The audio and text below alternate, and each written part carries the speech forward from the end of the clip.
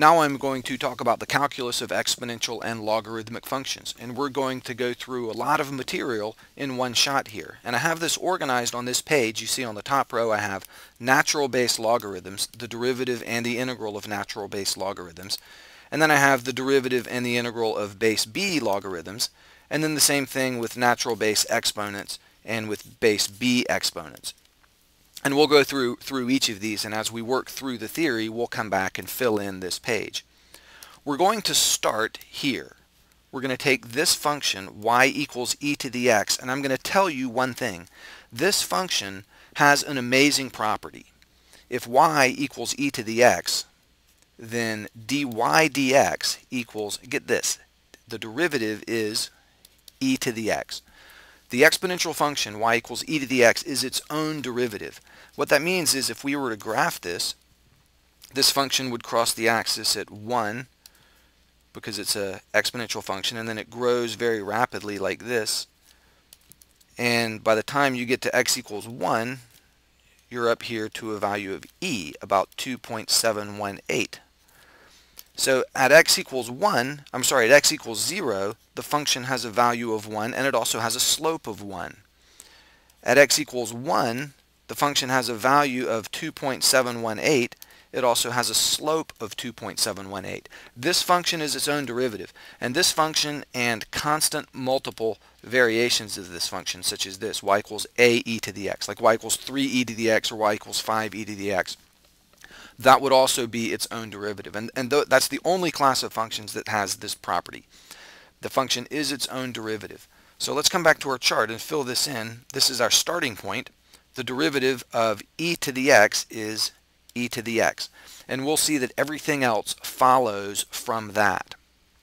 Well, if the derivative of e to the x is e to the x, then it follows that the integral of e to the x is equal to e to the x plus c. We need to include our constant of integration there. And we can do a simple ex example with that. If we're told that, that the integral of e to the x is equal to e to the x plus c, then we could evaluate, for example, the integral from 2 to 4 of e to the x dx. And I, I should have a dx in there as well. The integral from 2 to 4 of e to the x dx is simply going to be e to the x evaluated from 2 to 4. So that's e to the fourth minus e squared. And you can work that on, out on a calculator. It comes out to about 47.209. But we can deal with integrals, uh, indefinite and definite integrals of the exponential function. All right, now think about the logarithmic function. y equals the natural log of x.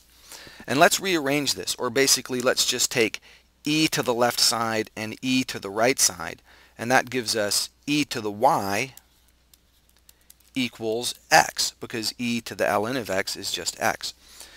Now let's differentiate here, and we'll differentiate with implicit differentiation. So we're going to take the derivative of both sides with respect to x.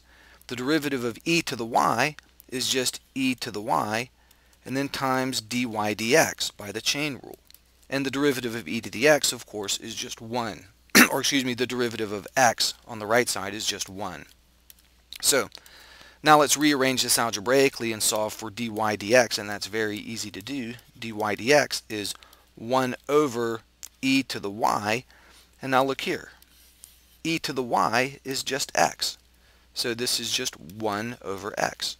So we've said that if y is equal to natural log of x, then dy dx is 1 over x. So let's go back and fill that in on our other page. Up at the top, the derivative of the natural log of x is simply 1 over x. Now it's worth noting while we're here that something immediately follows from that. If the derivative of the natural log of x is 1 over x, then the integral of 1 over x dx has to be the natural log plus c. This is a fact worth noting. It's not an exponential or logarithmic function, this 1 over x right here, so it doesn't show up on this chart, but it is worth noting. We can integrate 1 over x dx, and the integral is a natural log. And that's significant because we're typically integrating uh, simple functions like this with the power rule, but we can't integrate This is the integral of x to the negative 1 dx. We can't integrate that with the power rule because we would end up with a zero denominator. But it turns out we can integrate it, and we just did by taking the reverse process of this derivative. Okay, next idea. Remember the change of base rule. Log base b of a is equal to the natural log of a over the natural log of b every single time. Well, let's differentiate this. The derivative with respect to x of log base b of x will have to be the derivative with respect to x of ln of x over ln of b. We're just applying the change of base rule to this function. And note here, natural log of b is a constant. So I can just bring that out front of my derivative. So I'm going to have 1 over natural log of b times the derivative with respect to x of the natural log of x. And I know how to differentiate the natural log of x. The, the derivative of the natural log we just saw is 1 over x. So we end up with 1 over x ln b, and that's our answer. So just a quick example, the derivative with respect to x of log base 3 of x is 1 over x times the natural log of 3. Now let's come back and fill in our chart here. We're right here, the derivative of a base b log is 1 over x ln b. Alright, now think about this function, y equals b to the x, a base b exponent. How do we differentiate that? Well, b to the x can be rewritten as e to the x ln b. Any base any base exponent, any base exponential function can be rewritten as a base e exponential function like that. And we can differentiate this with the chain rule. The derivative with respect to x of b to the x will be the derivative with respect to x of e to the x ln b. And we know how to differentiate an exponential function. This is going to be e to the x ln b times the derivative of the inner function. The derivative of x ln b is just ln b. So we end up writing it like this. Take note that e to the x ln b is our original function. So I'm going to substitute that in right there. And I get b to the x times the natural log of b. So if y equals b to the x, then the derivative is b to the x ln b. Let's come back here and fill in our chart. The derivative of b to the x is b to the x times the natural log of b. And now we need to see how to integrate a base b exponent, the integral of b to the x dx. Well, how do we do this? We start here. The derivative with respect to x of a base b exponent we just said was b to the x times the natural log of b and I'm going to rearrange this. Just move the pieces around algebraically to get this. 1 over ln b times the differential of b to the x is equal to b to the x dx.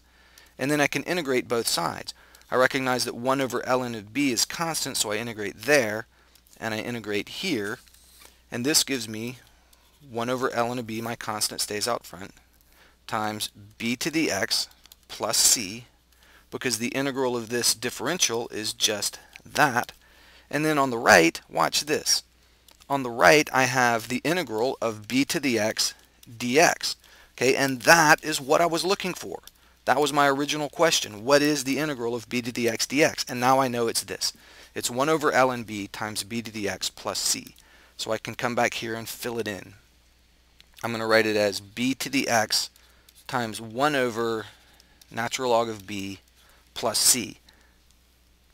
Now for the sake of completeness I'm going to fill in these last two up here. Those are actually a little bit more advanced topics, but I'm going to tell you that the integral of the natural log of x is x ln x minus x plus c.